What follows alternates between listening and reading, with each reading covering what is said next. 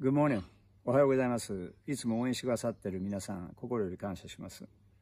えー、今あ、私たちは、幌延という町の真ん中からメッセージを送っております。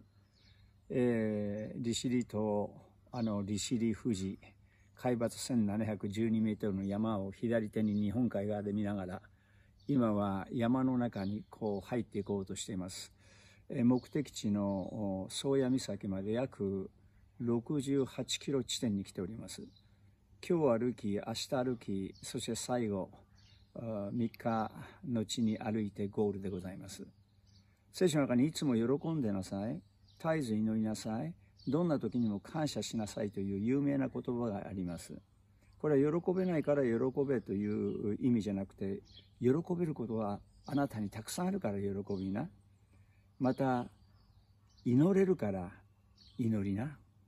そして振り返ったら感謝できること、神様の恵みって本当にたくさん自分たちのために数えきれないほど注がれていたんだなということを心に留めて今日も感謝して歩んでいきな。そういう意味にも取れます。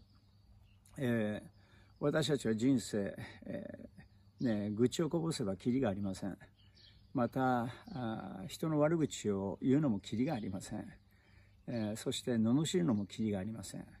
でも、喜ぶこと、祈ること、感謝すること、あなた自身の中にその素晴らしい要素があることを忘れずに、否定的になるように前向きにだからといって否定的になっちゃいけないという意味ではありません私たちはこの死からよみがえったジーザスの復活の力が注がれているがゆえに私たちは前向きに生きていけるんだよ。